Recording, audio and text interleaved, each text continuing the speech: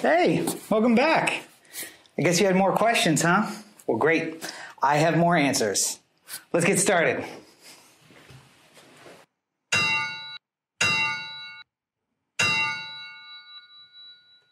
Hey, everybody. Welcome to yet again the inaugural episode of Rob Explains Everything. I'm going to go into a little bit about me, a little bit about the show, and then we'll get into the topic today defunding the police, reforming the police, and uh, what society kind of needs to do to address some of those problems. So, first up, this is now the fourth inaugural episode of Rob Explains Everything. Uh, I had imagined this concept several years ago to be short explainer videos, and I still may focus a little bit on that.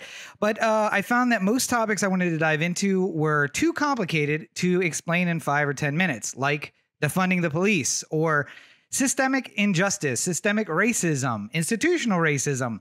Really hard to wrap that up in five minutes because it's, you know, 500 years of history or more. So uh, I went back to the drawing board and figured out let's do something a little different. Let's create a radio show version of the Rob Explains Everything where people can call in, they can ask questions. Uh, you can leave a comment for me and I can answer that. And we're going to cover a certain topic every single episode, stick to that one topic and try to keep it to, you know, half hour, 45 minutes or so. And I'll have some special features here and there. Like today, we'll do a debut of the uh, the Chain Vapor song, which got debuted in the last one, but nobody heard it. So uh, we'll get back to that in just a second. That's uh, basically the history of Rob Explains Everything. If you want a little more information about whether it's me or Rob Explains Everything or the Everyman movie reviews that I do uh, bi weekly, you can find all of that at robertncheek.com, R O B E R T N C H E E K.com. Uh, you can find links there to everything that I do, the books that have been published, uh, the videos, uh, the reviews, and now a sound SoundCloud for all of the parodies. And uh, now, of course, Rob explains everything will be up there as well. So, um, let's see four four years ago or so five years ago maybe now it's been a long time uh, i sat down around uh, you know late october came up with the idea of rob explains everything and did a mm, a first version an episode zero if you will of rob explains everything and that was on um, Guy Fawkes and explaining who Guy Fawkes was. And I tried to, to script it out to keep it to the allotted time. And let me tell you, it was difficult. Uh, it looks like it's scripted. It looks like I'm reading a script. And I'm not an actor as much as I maybe pretend to be. So it's a little harder for me to uh, to read a script or memorize a script. Uh, and I didn't like it. So I let, I don't know, two more years go by. And we tried episode zero again, this time you know, as episode one of Rob Explains Everything. That's actually available on my YouTube channel, youtube.com forward slash Rob Cheek, where you can find uh, the Guy Fawkes episode one. Uh, it's a little bit better. Uh, it's a little bit more like this format where I have some explanations, and uh, a friend of the show, Roberto, actually cuts in to do some definitions where I felt like there were some definitions that needed to be done. Still wasn't super happy with the format, and they're really hard to get pumped out. It takes a lot of production value to get that up. Now, a radio show is something that I've always been interested in uh, in another life, in another time. Maybe I would have gone into radio myself. Uh, I love podcasting. Those of you who follow you are, know that I've been on the O the Anthem podcast for the last five, six, six plus years now, 325 consecutive weeks of new episodes. That's the closest thing we get to radio, but it's not live. Uh, and there's something I really like about being live and taking questions and uh, being able to re- react and, and to comments and uh, take questions and that kind of stuff. So uh, we're going to try this new format and we're going to see how it goes. Uh, and if not, maybe we'll try something else down the road. God knows I have tried a lot of stuff when it comes to Rob Explains Everything. So, as a reminder, you can give us a call in. You can be a part of the show. You call into 424 253 5606. That's 424 253 5606. 06. That's a local number to uh, California, Los Angeles, California. I'm actually going to put that in all the chats, no matter where you're watching. That should pop up with a number at the bottom. Uh, you can call in. I can take you right here. You'll be recorded and uh, there for posterity with all your questions. Um, so let's get into the topic at hand today, which is, of course, police reform, defunding the police and what we can do as a society. Up first, let me say it has been 113 days since Breonna Taylor was murdered, and let's go out and celebrate this July 4th by arresting her killers, who are all still walking free, despite the fact that they may or may not still be police officers and may or may not become police officers somewhere else. So 113 days is too damn long. Go out and arrest the killers of Breonna Taylor. Uh, that's my message number one for today. So, uh, message number two let's get into defunding the police. And this is a super controversial topic. I will tell you, it, has got a lot. It's got a lot of things involved in it. We're gonna dive into all of it. I hope you guys are ready. Uh, if you're watching along at home, make your comments, make your questions. I'm happy to address all of those. But Rob explains everything. Defunding the police.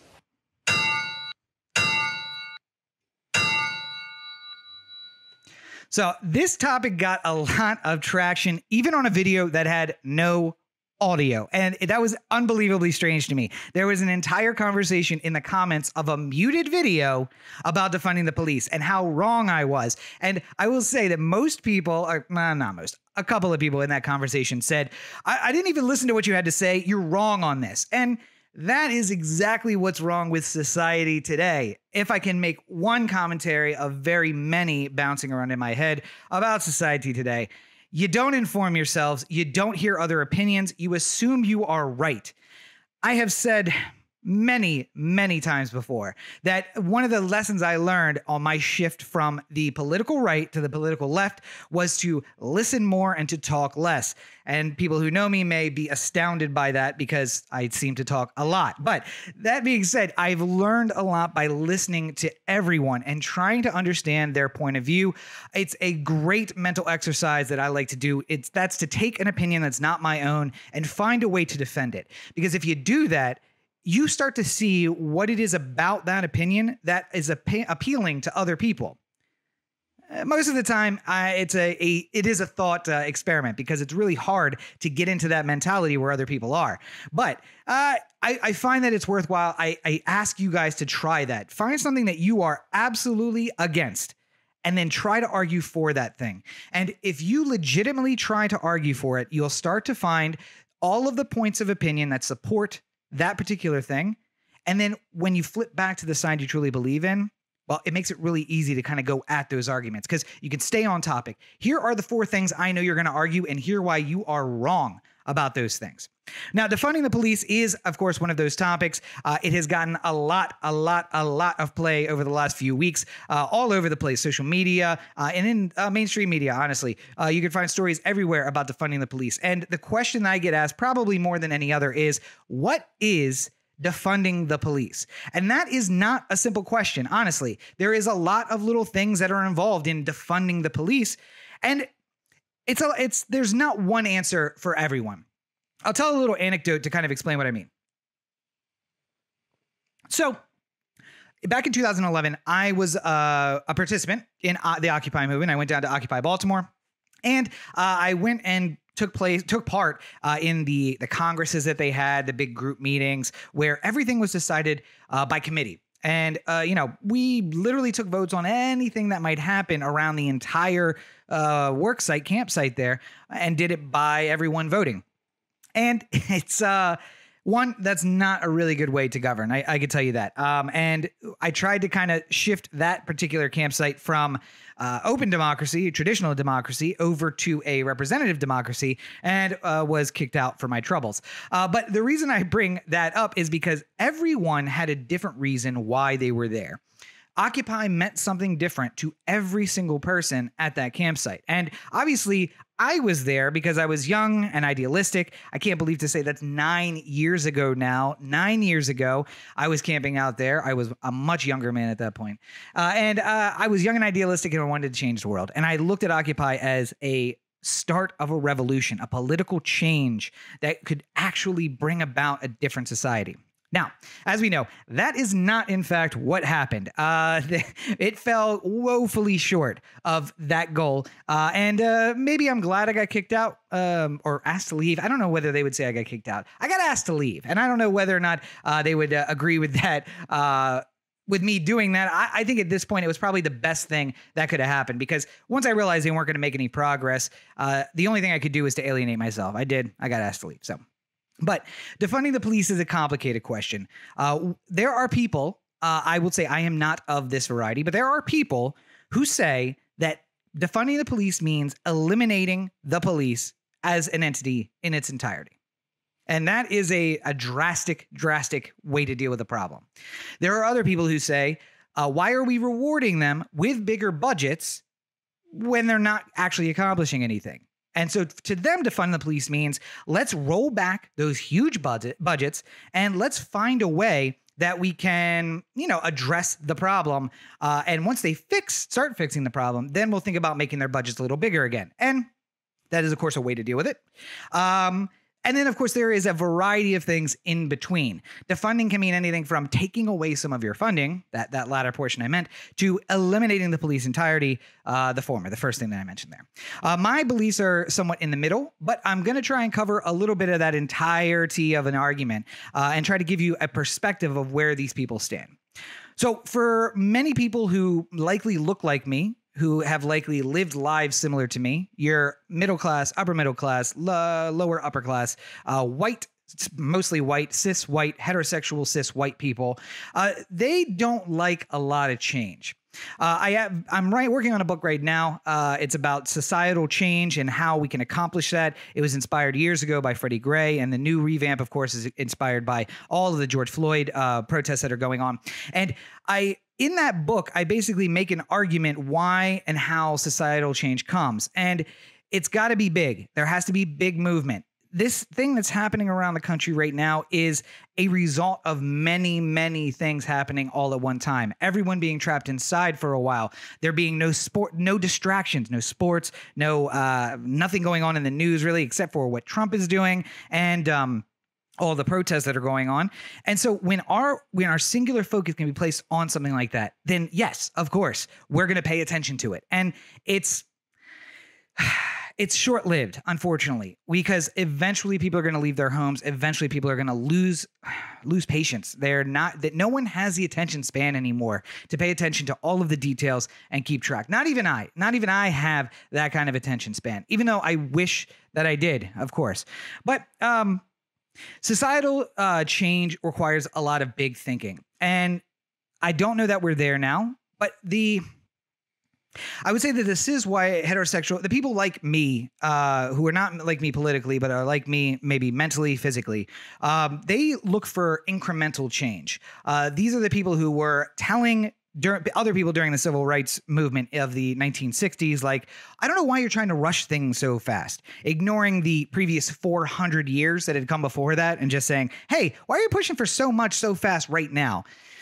Uh, it's insulting to it's honestly it's insulting for people to be treated that way and we should avoid that and but in order to reform police they think that incremental change is the way to go let's take away some of their money, see if they change. If they don't, we'll take away more of their money. If they don't, we'll take away more of their money. If they start improving, then let's add money into the places where it's working. But that requires a lot of things. It requires oversight, which we know for certain police do not have in this country. It requires a consistency of leadership. Using the example of the Baltimore Police Department, which is the police department which I'm probably most familiar, having lived in Baltimore for some time, uh, Corey and I, the other host of the O the Anthem podcast, talk about the Baltimore police pretty often. And uh, so I stay up to date on what's happening with them. They do not have consistency of leadership. Neither does the city, for that matter. Uh, and although Los Angeles is slightly different, they do keep a consistency of leadership. What we're talking about is big change that takes a long time. And even at the federal level, we don't have that kind of leadership. Presidents are there for eight years and then they're gone.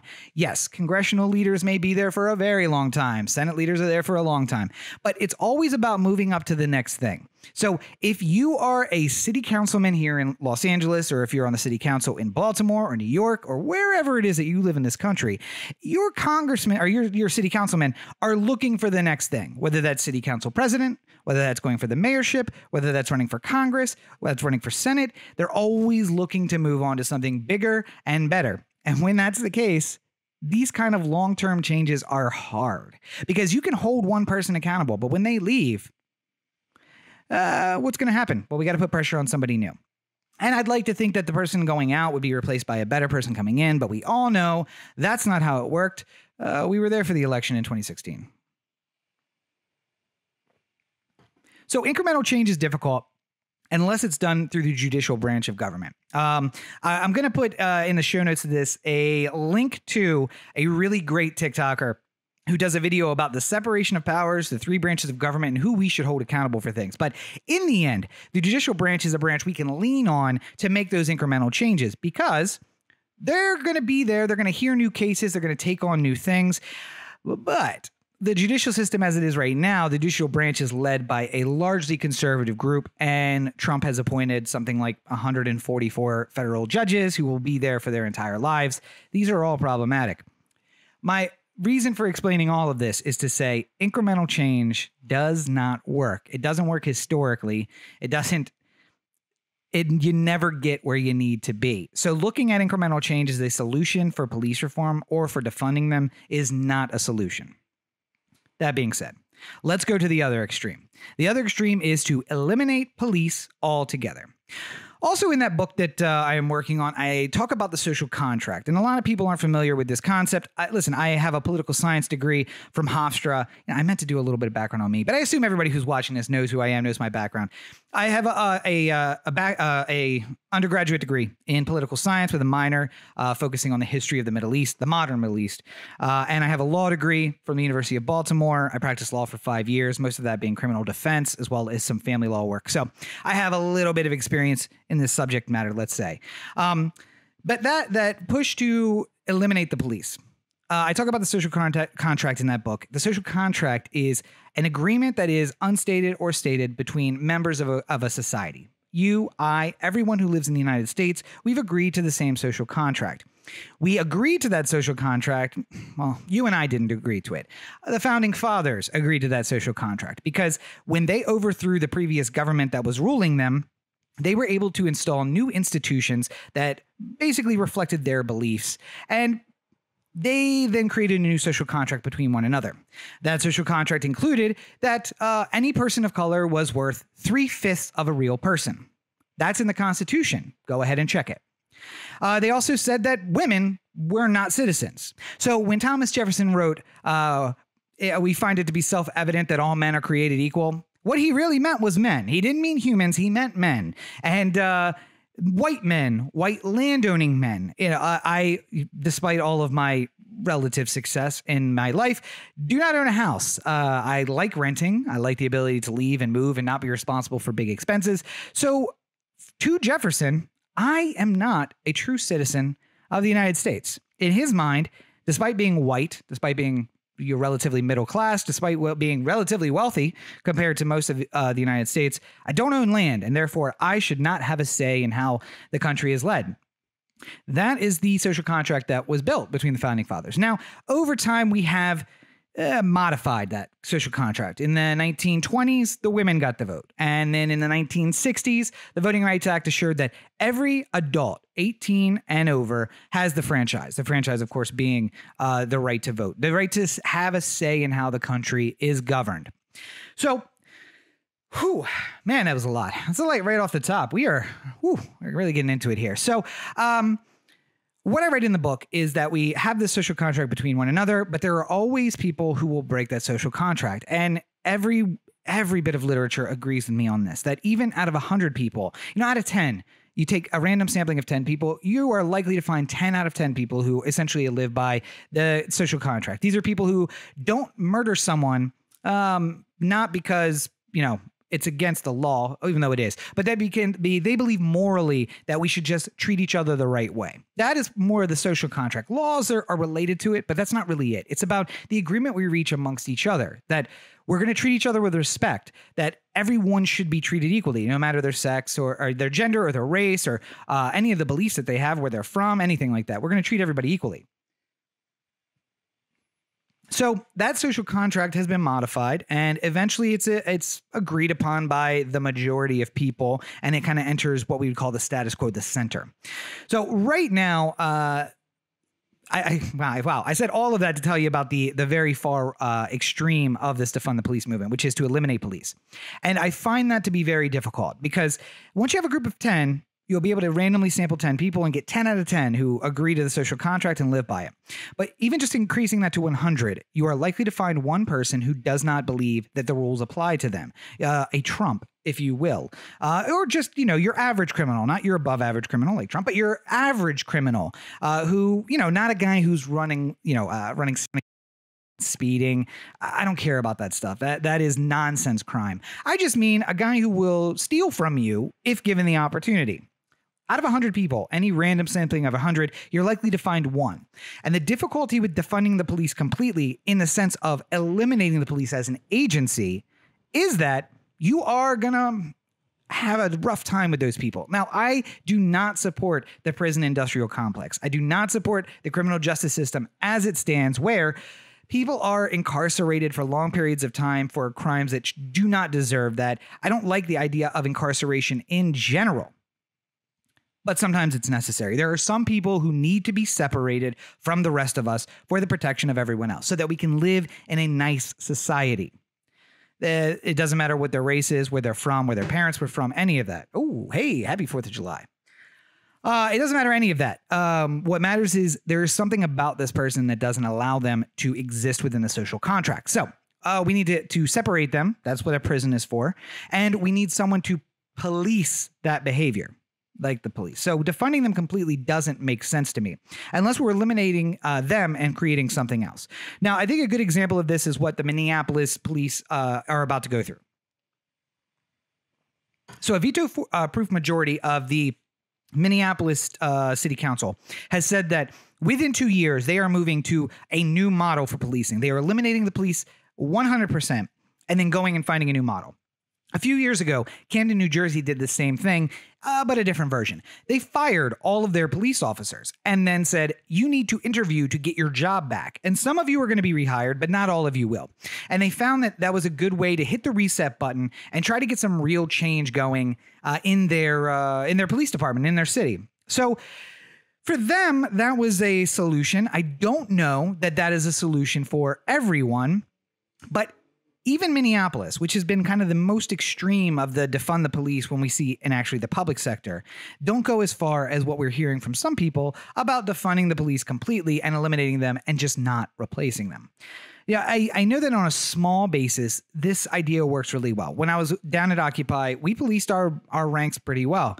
Uh, the new Capitol Hill autonomous, autonomous zone uh, that had happened in Seattle before it was just brutally broken up by the Seattle PD and uh, federal forces, they policed themselves as well. And on a small model, that absolutely works. But as a society as a whole, it doesn't work. So we need to find a different way to do that.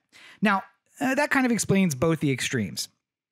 I want to get into what my belief is and what I want to do with uh, the revamp as a whole. I'm I'm gonna get into that. I do want to take just a second, catch my breath, get a little drink here, and then when I come back, I'm gonna be back with my plan for how to reform the police and what defunding the police means to me. So hang out for me one second, and I'll be right back with you.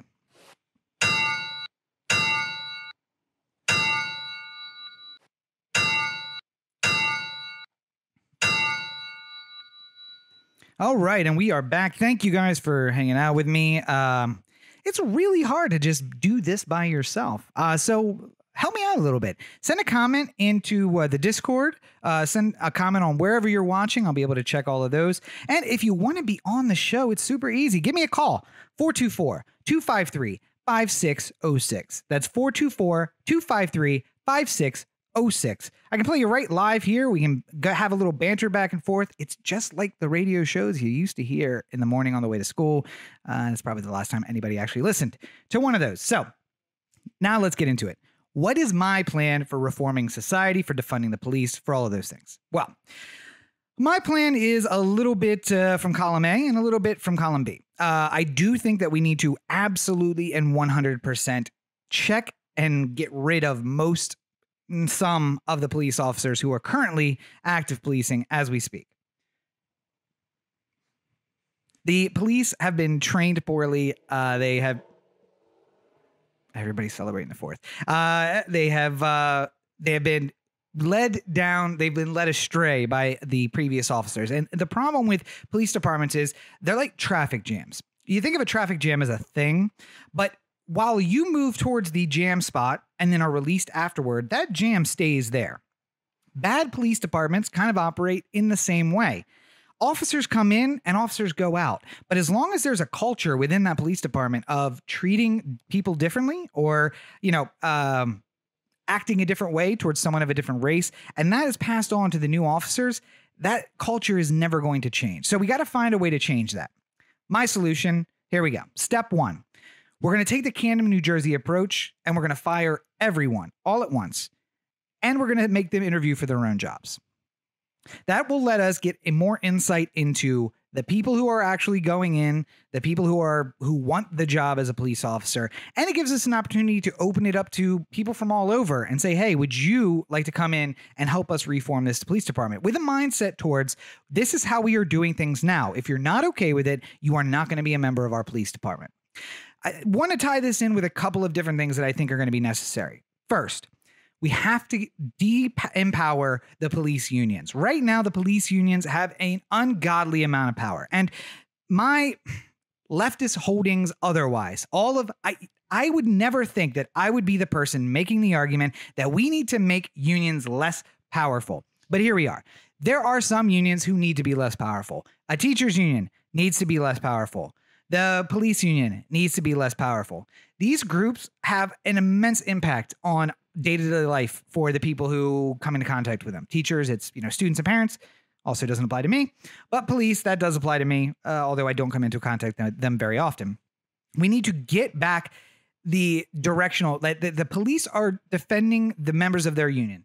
I I want that to happen, but I want them to defend the good members and not the bad members. So we have to put in protections to make sure that no matter what, bad officers can get off the force and out of the union, and that the good officers are then able to be protected by the union. That's the whole point of the union. So, uh, in conjunction with firing everyone and making them re interview for their own jobs, number one, a federal, eh, that means a national database of police officers.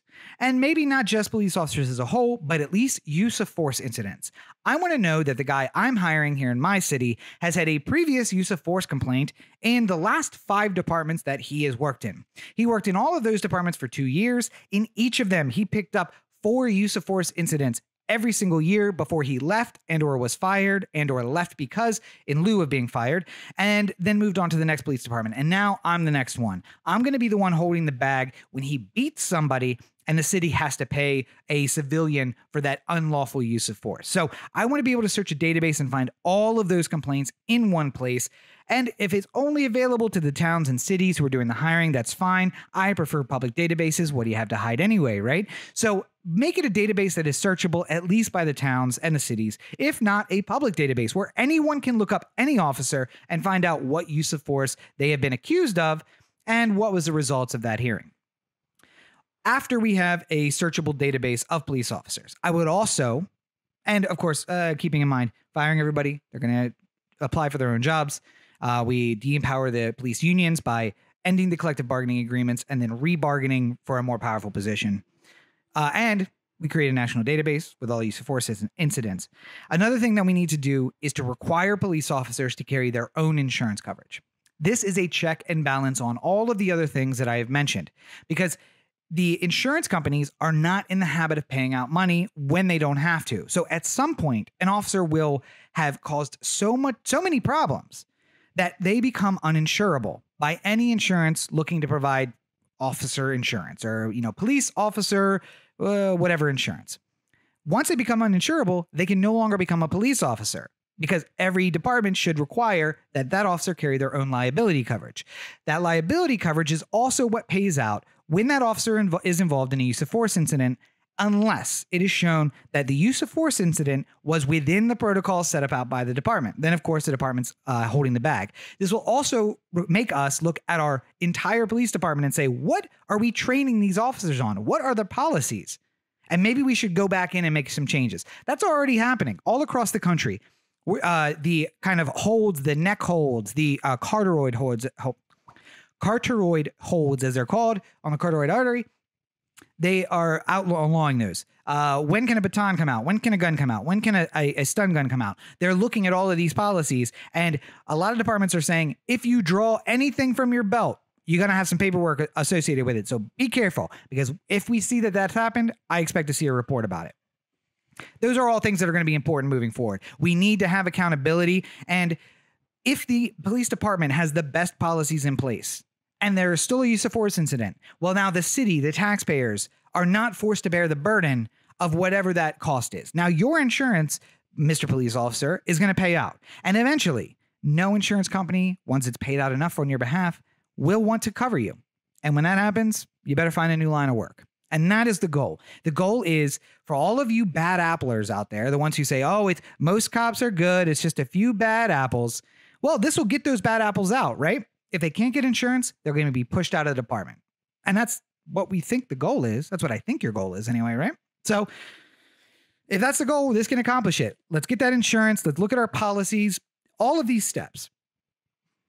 Now, um, when it comes to the funding portion, uh, I've kind of said about how we would do a better job at setting up a police department.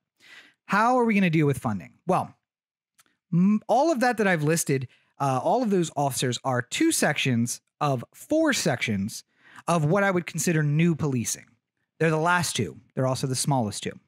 So, what I propose is this that we take for the last year, the last two years, the last five years, and we look at 911 calls and we say, as a result of the call or whatever the report was that came from that call, how can we categorize that? What you'll find if you do that kind of examination is that the majority of those calls are for people who have a disagreement with their neighbors that could be better handled by a mediator or someone in a mental health crisis that could be better handled by mental health professionals. Very few, very few of those 911 calls would be nec- would it be needed to send out an armed police officer to. So once we look at the last two, one, two, five years, and we put all of those calls into categories, now we're going to take the police budget as it stands, and we're going to divide that up, and we're going to assign it to different departments by calls. And we'll keep this running into the future. If we find that one needs more, one needs less, let's move that money around. But it will allow us to put the money into the sub department where it can do the most good. And this is how I would structure the sub departments. The first, the largest, would be members of the community who are mediators, who can diffuse situations, who can get that emotionality down. I want those kind of people on the streets. Uh, in Oregon, uh, I think it's Salem, Oregon. I might be Portland, Oregon. They have a group called Cahoots. And what this do- group does is it's trained professionals who go out on a call and they try to de escalate a situation and they try to get information and then they try to set up aftercare services. They do things for which there is no need to have an armed police officer. If my neighbor and I are having a disagreement, and this is the fourth time I have to call the cops about the loud noise at uh, in his house, First of all, I shouldn't be calling the cops about that. Yes, it's a law to keep the noise up, but in the end, this is a disagreement between people, and there needs to be a discussion about how I, on my property, can enjoy, have quiet enjoyment of my property, while you, on your property, can do the things that you want to do as well. And how can we accomplish those goals? There is no need to bring a gun and an untrained person into this situation the likelihood that the other party or myself, let's be honest, because I say a lot of inappropriate and probably uh, disturbing things, uh, if my mother was to hear them, uh, to police officers in general. So we create a new, very large section of the community uh, of community services. Let's use Cahoots as the example. There are mediators. They are uh, uh, you know, uh, not necessarily psychiatrists and psychologists, but and not mental health professionals, social workers, people who are trained to do this, and they can de-escalate the situation. They can bring us back to zero, and then follow up with aftercare, follow up with after actions to try and get the the whatever the dis- cause this dispute settled. Rather than having someone come in as an arbiter, the cop in this point, and say, You're right, you're wrong, go to your corners. Because in the end, that is not going to stop the continuing ag- disagreement. It's going to stop it right now, but that agree- disagreement is going to continue. So let's get some people in there who can bring about final decisions, who can mediate and make us come to an understanding and then have success and peace in the future rather than just for the next few hours. The second group. Uh, I said psychiatrists and psychologists earlier. I said I don't want them in that first group because I want them in this second group. The second group is mental health professionals on the street. A lot of calls that the police are sent out to are about people who are in distress, um, whether they're threatening to harm themselves or to harm others, or they're being just a nuisance on the street. A lot of those are down come down to mental health issues manifesting in a society where we have made mental health care not a priority, a very, very low priority if you judge by budgeting, which I think is the number one way to see what does society care about this issue? How much money do we put to it? Because right now, it looks like we put a lot of faith in racism, institutionalized, um, system, systemic racism, um, murdering people of color for doing everyday things. Uh, I mean, there is a Twitter I love, Twitter account that just lists the all the things that black people can't do in America. You can't hold a toy gun in a store. You can't hold it, hold a toy gun in a park. You can't hold a toy gun on a train. You can't hold it in a train station. You can't have it in your car. You can't have a legally licensed firearm in your car. These are all reasons why police across the country have murdered black people for things that are not illegal. And I'm not going to get into the, the what's legal versus illegal, and especially the cases where maybe the officer was justified. I don't care. You know what's not justified? What happened 113 days ago when police on a no-knock warrant busted down the door, and when the homeowner, thinking he was, you know, being robbed, shot at the intruders who didn't announce themselves, and they returned fire, killing his wife, who was an EMT. Of course, I'm talking about Breonna Taylor, and her murderers are still on the street 113 days later. So let's go out and arrest the murderers of Breonna Taylor and get some justice for her, shall we? All right. So back to the topic. Um, that that is what is illegal and drawing the line. I don't care about any of that. In the end, most of the calls that that uh, police go out on are disturbance calls between that can be settled out by mediation or mental health calls. So the largest portion of the money goes to the largest group, which are these community mediators, the cahoots, if you will. The next group is psychiatrists, psychologists, other social workers uh, with professional degrees, those who are used to dealing with people in mental health stress, those who are under distress, and those who are having breakdowns. And you know, diffuse the situation again, not bringing a gun to a situation that is already highly, highly emotional. So, once that we have that group established too, now we've eliminated, in my by my estimation, 70 to 80% of the work that the police do. And we've put that work in the hands of people who are more qualified to do it. And the, the instances we see of people saying, I'm gonna kill myself, and then being killed by the police, which defies it defies logic to me to say if I threaten to kill myself, that somehow that ends with the cop murdering me. And somehow that's okay, you know, because I was going to kill myself anyway, right? So, yeah. And uh, you know, there are a lot of issues that that build up to this. And I'm not I don't want to just jump over them, but I have to because our topic today is about defunding the police and police reform. And in the end, we can't get to the number of firearms on the street, how easy it is to get firearms some places and not other places, the lack of testing, the lack of licensing, the lack of everything in our society when it comes to firearms, the lack of mental health care, generally speaking. I have decent insurance and I can get mental health care, but not a lot of people do. And especially those who now coming out of this pandemic who don't have jobs, who don't have insurance, because somehow insurance is still a thing that we can make a profit off of, which also defies logic. There are things that we should not make money off of police, fire, medicine. These are all things. And we found that the in our history, we found the time that we made the police as social welfare. We made fire firemen a social welfare and we need to make medicine a social welfare so we can start focusing on treating people and having a better society and not on making money off of sickness but i digress we have the cahoots people who are mediators in the public. We have psychiatrists, psychologists, social workers who are trained in situations of stress for people in mental health, um, having mental breakdowns. And that is the 70 to 80% of the budgets and 70, 80% of the people. And what I envision is that much like policemen, these people would be assigned to neighborhoods. The neighborhood I lived in, I would love to see my community mediator out and about on the street meeting people, going into shops, finding people, and just saying, hey, you know, this is who I am. This is where you can reach me. Uh, if you have a problem, you can call 911. Just tell them, you know, I need my community mediator out here. And by the way, another thing that has changed and is changed, uh, I think Austin, it might be Dallas, it might be Austin, Texas now. When you call in, there are three options. Do you need fire, uh, fire medical? Do you need police? Or do you need mental health? And they will send out a group just to address mental health issues. Like if you think the person's just going having like some sort of mental health issue, don't send to the police. Ask for mental health workers and they will come out there.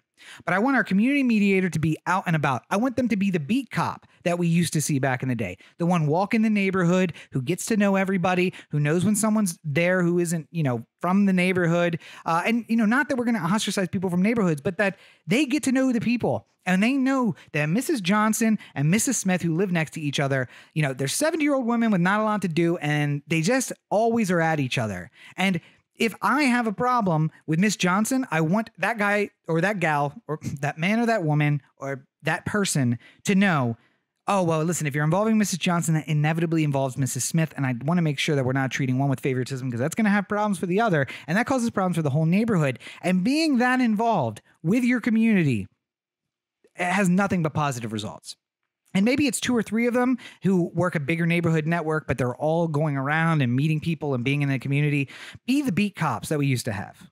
Mental health, a little bit different, but they cover less of them and they cover a little bit larger area. But certainly, I would love to see these folks going out to AA meetings and NA meetings and going out and, and meeting with the homeless community and trying to offer services and like no i'm not a cop nothing is going to happen to you i just want to make you the best version of you i want you to be able to be the best version of you possible. And I want to help you any way that I can. And here are the services that are available because we've gotten such a huge influx of money because the billion dollars, billion with a B that Los Angeles currently pays towards police, or the half a billion, again, half a billion with a B that Baltimore spends on police, or the multiple billion that New York spends on police is now being divided up and that money is being made available for mediation programs, for after school programs, for mental health programs, for everything that actually benefits the community, and not to put a tank in the hands of a bully from high school who stopped emotionally maturing at 17 and is looking for an opportunity to flex on you.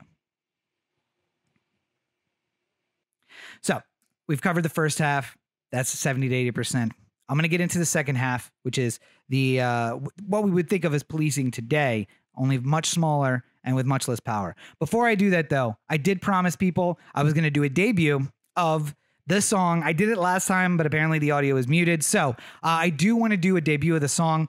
Before I do, what I will say is this um, it's a rough version. Uh, all of these are rough. I do this because it's fun. I love the idea that I can sit down with a song as it currently exists, write a parody version of it, and then record it. And we have that done in the matter of a few hours uh, not you know a few days or a few months, which is how most of my projects, or never, which is what, what most of my projects uh, end up being. So I hope you enjoy it. It was a lot of fun to do. Uh, I roped Roxy into this one. Uh, Corey, of course, uh, other half of the the Anthem um, podcast, helped out with the recording. So.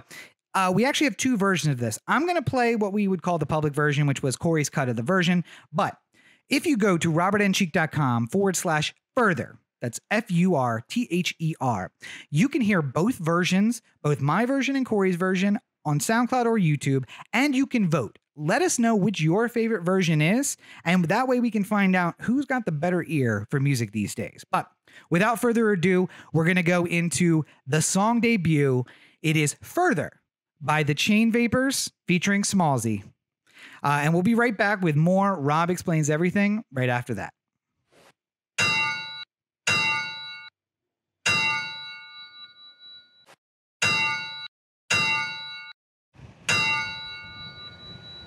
All right, and we are back. Thank you guys for hanging out with me this long. Once again, you can call in. Let me hear your comments and questions. 424 253 5606. That's 424 253 5606. You can comment wherever you're watching. Oh, let me turn that off. Had the AC back on for a second while you're uh, away from there. So, uh, again, uh, you can reach me wherever you are on Twitch, on Facebook, uh, on YouTube. Make a comment right there. I can see it uh, in the Discord, or you can join the Discord directly. Uh, ask me, and we can get you in there for the next episode. So, Wrapping up right now, what we are talking about is the last two smaller bits. We talked about cahoots, the mediators. We talked about the medical me- mental health professionals. 70 to 80% of all calls are for those. That's what's going to get covered with 70 or 80% of the budget. When I say defund the police, what I mean is to take 70 or 80% of the current funds associated with them and move them into those two programs. And then leaving 20 to 30% for what we're about to talk about now. That is the police as you traditionally see them, those guys in cars riding around, uh, I want those guys to stay because I think there are times when we need them. But the one thing, and I've kind of harped on it a little bit, uh, is that we need them to not have firearms. You never, there are situations where we don't need to bring a firearm into this situation. So I took inspiration from the United Kingdom and kind of how they have their police set up for my last two sections. Although it will be the biggest part of the police, it will be a much smaller part than the other ones we previously discussed. Those police will still exist, and I would love to have them working beats the way that they have done traditionally. Get out of the car, get back on the street. Now, yeah, we need to have shops. They need to be able to get around if they need to get around, but I think for the most part, if we can have them walking around the neighborhoods that they serve and say, hey, you are always assigned to this neighborhood, and you should get to know the people who live there, get to know the people who own the shops, get to know the faces of the people who are around, and that way you can feel like part of the community. And maybe, just maybe, when you're off duty and when you're coming in from Lancaster or coming in from where Victorville, wherever it is you live here in LA, or when you're driving in from York to the city of Baltimore, because let's be honest, that's where a lot of BPD officers work. I'm sorry, where they live. Um, then maybe you'll feel like, hey, I'm to go see that shop owner. That guy just opened up a new taco stand. I want to go support that because I like that guy. And I'm to go support and be a part of my community, not just with the badge on, but also with the badge off. But I take the inspiration from the UK because we're going to take the guns out of the hands of these officers. And I'm not just saying the regular firearms, the Berettas, the Glocks, whatever it is that they're carrying. I'm talking about most of the what we consider firearms. Because there's been a lot of talk recently uh, since the protests have started about uh, non-lethal weapons, and that is a misnomer. Not there is no such thing as a non-lethal weapon. A shotgun that fires a non-lethal round doesn't. The person who makes the company that makes that that weapon, that round, will call them a less lethal round because there is still a chance that that thing is going to kill you. You get struck in the chest with a rubber bullet, it can stop your heart and you can die. It can still penetrate the skin if fired close enough. And you know, at you. Um, it can hit you in the head and kill you. A beanbag fired at your chest or at your head can kill you. A lot of less lethal, not what they call non lethal, but less lethal rounds will still kill you. And so they shouldn't be used as if they are non lethal. They should be considered less lethal and still only used like a bullet in a situation where we would not want to use a bullet, but let's use something else. But there's a whole lot of situations outside of that where we shouldn't involve a bullet at all. Well, these police are going to be there for that. You know, uh, whether or not they have batons, I, you know, historically those batons have been used for nothing good and mostly bad. But I get the idea that uh, these officers are going to be kind of out on their own and they maybe need to protect themselves.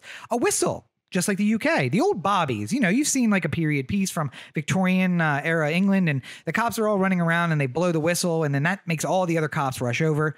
I like that idea. And I think that one, having a whistle would be a good idea because overwhelming force can sometimes be the number of officers and not about what they have personally to use. I don't need a gun to have overwhelming force. If there's 10 of us, we have overwhelming force on most people. And also, by the way, most of those situations are people in mental distress or uh, a disagreement amongst neighbors, for which we didn't need police and we've already eliminated them. So give them a whistle, uh, pepper spray, sure. Um, maybe. Stun guns, maybe. And maybe for some officers, maybe those get taken away when you use them in an inappropriate way. Um, a baton, sure, maybe. These are all things that individual police departments and cities will have to discuss, so I'll leave it to them to decide. For me, I like the idea of the old school Bobby just, you know, nothing but a broad shouldered young chap with a whistle. And if something happens, he whistles and a bunch of guys rush over, or, you know, maybe the modern whistle, which is a radio. Um, and they can trigger the radio and a bunch of people show up. We have radio and GPS now, so it makes things super easy. Um, and you don't need weapons. We'll leave the weapons for the last section, the smallest section. Um, that subsection would be what they in the UK call armed police there is assumption, no matter where you are in the United Kingdom, that if you see a police officer, he is not armed. He does not have a firearm of any type. I think that's changing somewhat. They are giving them small caliber weapons like the United States, and I think that's moving the wrong direction, not the right direction. But let's just say it's 1990, um, which of course I'm basically stuck in the 90s because I grew up through the 90s, and that the the British police officers have no guns. So um, I first of all, they paint their cars in something that is bright and easy to see, so I can see a cop, wave them down, and get help. because for some reason they focus on the idea that police are there to help citizens, not to find them guilty of little infractions which for the which they have to pay money. Strange way to police. I know it's weird for all of you. Um, but the it would make people a lot less scared of police if they knew that they the average officer doesn't have a firearm. He's really there to lend his training and assistance, maybe in assistance to the cahoots people or the mental health people, uh, and he can come there and just do crowd control or any number of things that you would need a typical police officer for uh, that isn't directly providing services to the person in mental distress or uh, you know a disagreement amongst neighbors. And uh, again this would be a, the largest group of what's left of police. Of that let's call it 30% remaining uh, this would be 20% maybe even 25% of the funding and the number of people. And they get to know people in their neighborhood. They are members of their community. And they just uh, they do traditional policing, not broken windows policing. That's a whole separate thing. And we'll get to that when we talk about systemic racism in a future uh, episode. But not broken windows policing, but actual, like on the beat policing. And they'll leave everything else to the smallest group, that 5%, that 10% group. And that's going to be the armed police. Now, uh, again, kind of thinking about it, there would be a lot of these mental health or a lot of these uh, community members who are available to the public working the beats. There'd be less of the the mental health providers. They'd have bigger districts, if you will, bigger uh, areas to cover.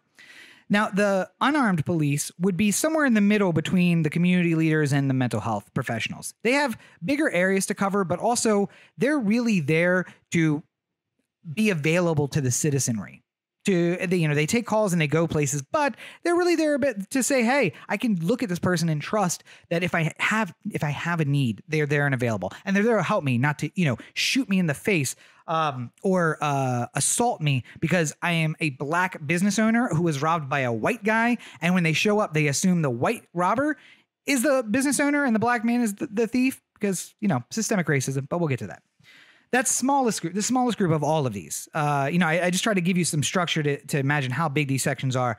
The mediators are the largest.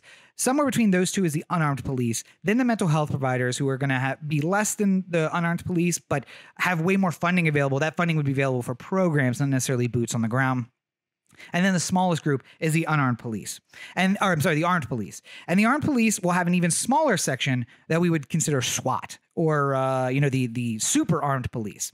And they would be only taken out for very very unique situations. Uh, I, I live in Hollywood now, and in North Hollywood back in the early 2000s there was a shootout between police and uh, some bank robbers where the bank robbers had AK-47s and body armor. This is a situation where we should bring out SWAT. These guys have are probably ex-military. They have military equipment and they use military tactics, and I never see them on the street. The only time I see them, the only time they leave whatever location it is that they stage at, is when they're needed for specifically a situation that calls for them, where we need to have an equality amongst the bad guys, those who are breaking the social contract, and the good guys, the guys who are defending the social contract. Um, but something less than them would be armed police. And, you know, they don't carry around M16s. They don't have body armor. They're not looking like they're coming off a street of Basra rather than the street of Baltimore.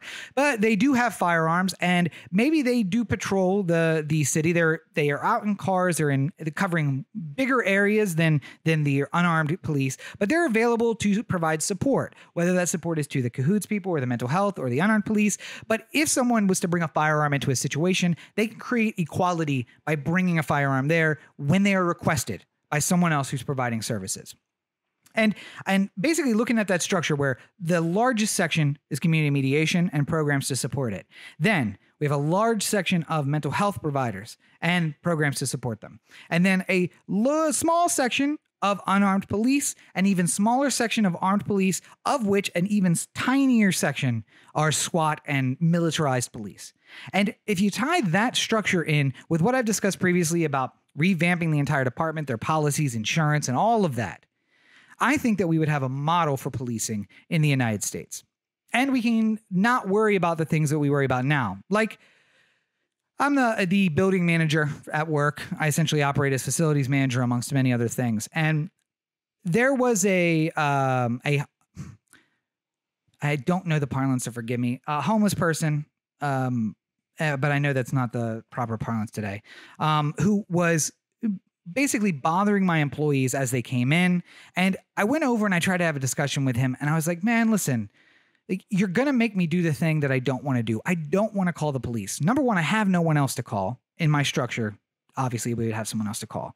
But I don't have anyone else to call. And I'm looking at you and I'm seeing you're a person of color. And now you are making me possibly your judge, jury, and executioner. And I don't want that. But you're putting me in a situation where this is not about me. It's about my employees feeling unsafe and you doing something that is making them unsafe. And I can't do anything else but to call the police and to get, get the situation dealt with.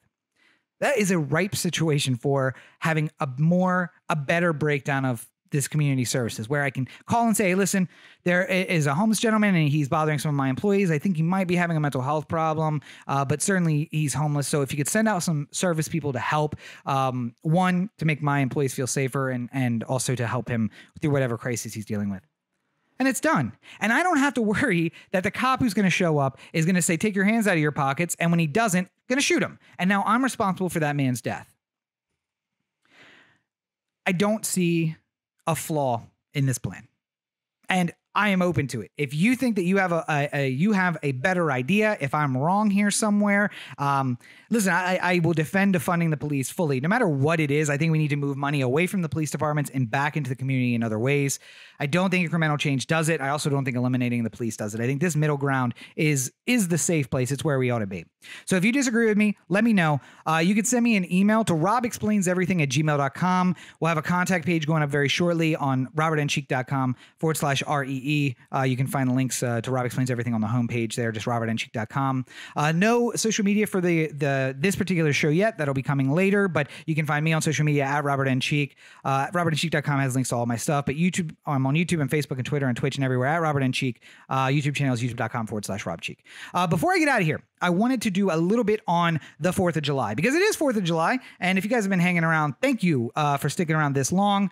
Um, and again, if you have any final comments about this or uh, or anything else, it's 424-253-5606. That's 424-253-5606 to call in. Uh, I'm able to take your calls right here. Any comments, just let me know. But I want to talk a little bit about 4th of July because I think that this is the first 4th of July in a long time where many more people who look like me are feeling the way that I feel about this holiday. And this is a complex holiday. I want to celebrate it. Ideally, the United States is what everyone would hope it would become. Our founding fathers, flawed as they were, um, men of their time, you know, Thomas Jefferson saying all men are created equal while he held men in bondage uh, at Monticello. Yeah, it's complicated um, and none of it's good. But we have a constitutional document that continues to be changed and deal with the times. Unfortunately, we've reached a point in our history where that change just isn't coming, and we are fighting against forces beyond our own. So, for those of you who don't know, July 4th is the birthday of America, and we call it, you know, that we celebrate that day because it is the day that the Declaration of Independence was adopted by the Constitutional Convention. That actually probably happened on the 2nd or the 3rd, but it was made public on the 4th. So July 4th is the day we celebrate. July 4th is also the day that Thomas Jefferson and John Adams both died on the same day. John Adams' last words um, Jefferson survives me, but he didn't. He had actually died earlier that day. Weird, weird things about history.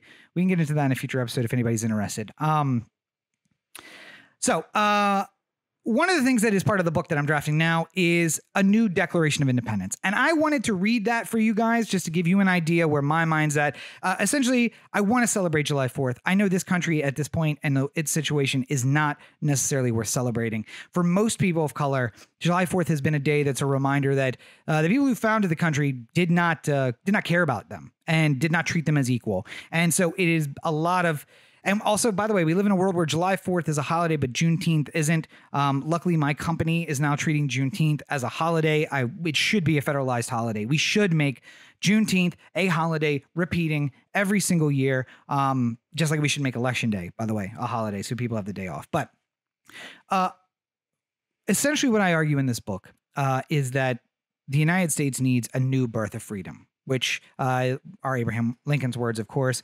Uh, and we need to go back to where the founding fathers were, where their mentality was. Uh, I got to watch Hamilton yesterday for the first time. Never seen it on stage, but I watched it on Disney Plus. I highly recommend it. And it just got me in this mindset of like, that dude wrote like he was running out of time. And I used to do that. I need to do that more. Uh, but I have essentially drafted a new declaration, uh, a new Declaration of Independence, one where all of us who believe, if you believe as I believe, if you think that the country is broken and that it needs to be repaired, then this is something we can all sign into. We can all agree with, and we can move forward. And it uses some flowery language, but I try to bring it down so that it's understandable by everybody. So, uh, I guess without further ado, uh, a new Declaration of Independence, of course, written by me.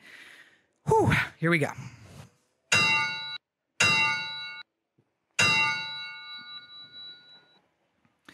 A new declaration. As time passes, it becomes necessary for the people to demand the redistribution of power which has, for some time, been taken from the many and reserved for the few. At that time, it is only right that they demand the station with which the laws of this nation entitle them. A measure of respect to all requires that they clarify the causes and reasons which require the action. We, the people, hold these truths to be self evident. All people are created equal.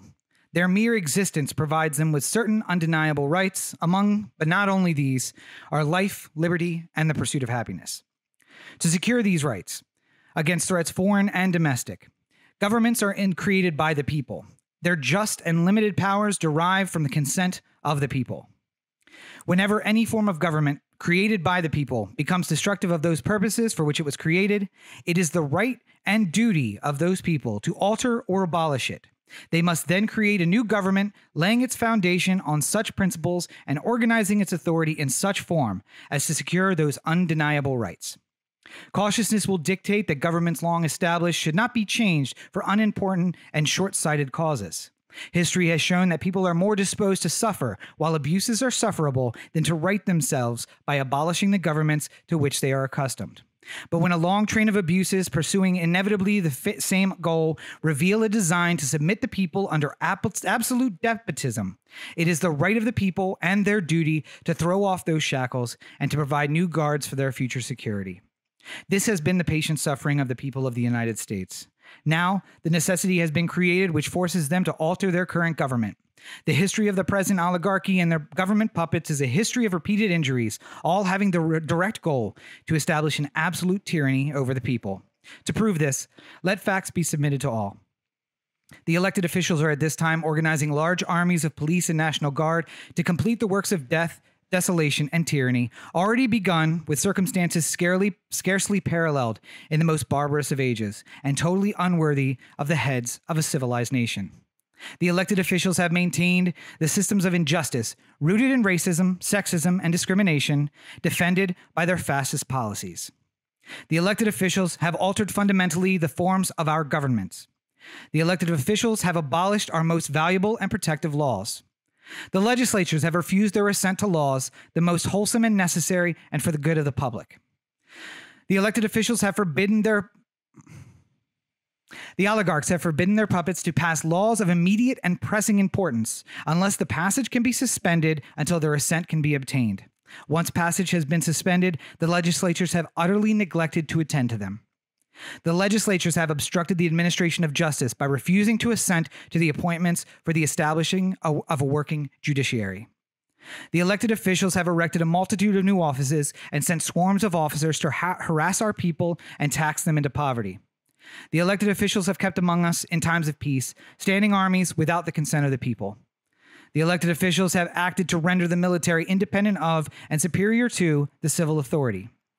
The elected officials have continued large and unpopular wars on foreign soil, utilizing bodies of armed troops taken from their positions at home. The elected officials have incited domestic insurrections among us and have endeavored to bring upon the citizens of our nation, at home and abroad, terrorism. The elected officials have established free trade with all parts of the world, causing the removal of millions of jobs and billions in capital. The elected officials have imposed taxes on the majority of the citizens while removing taxes from the oligarchs and their businesses. The elected officials, controlled by the oligarchs, have plundered our seas, ravaged our coasts, raped our natural resources, and destroyed the lives of our people. In every stage of this oppression, we have petitioned for redress in the most humble terms. We have exercised those rights guaranteed to us by law. Our repeated, our repeated petitions have been answered only by repeated injury. Leaders whose character is marked by every act which might define a tyrant are unfit to be representatives of a free people. Nor have we neglected in drawing the attention of our fellow citizens. We have warned them from time to time of attempts to extend an unwarrantable control and domination over us. We have reminded them of their rights as laid out by law. We have demonstrated the repeated abuses by the elected officials and their actors. We have appealed to their common goals, and we have begged them by the ties of our common history to disavow these actions, which would inevitably interrupt our connections. They too have been deaf to the voice of justice and to equity. We must, out of necessity, take the required actions and hold them as we hold the rest of mankind enemies in war and in peace friends. We, therefore, the people, appealing to the common sense of the majority for the righteousness of our intentions, do, in the name and by the authority of the good people of this nation, solemnly publish and declare that the power of this nation shall be returned to the people from which it derives, and that we are absolved from the illegal usurpation of this power. By this declaration, we shall take such action as may be necessary to accomplish this goal. And for the support of this declaration, and with a firm reliance on the protection of law and history, we mutually pledge to each other our lives, our fortune, and our sacred honor.